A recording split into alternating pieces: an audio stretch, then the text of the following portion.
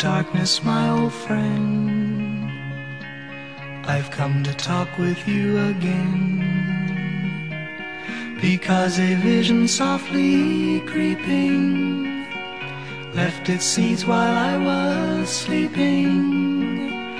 And the vision that was planted in my brain still remains within the sound of silence. In restless dreams I walked alone, narrow streets of cobblestone,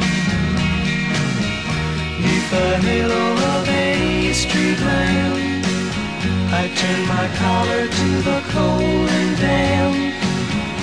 When my eyes were stabbed by the flash of a neon light that split the night and touched the sound of silence. And in the naked light I saw ten thousand people, maybe more. People talking without speaking. People hearing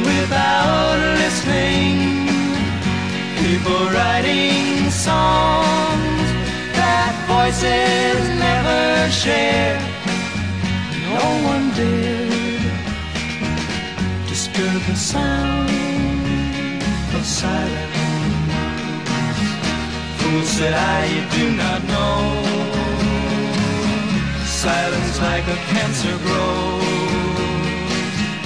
Hear my words that I might teach you. Take my arms that I might reach you.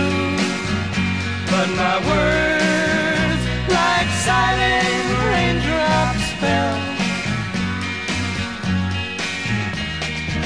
Echo the wells of silence And the people bowed and prayed to the neon god they made. And the sign flashed out its warning in the words that it was forming.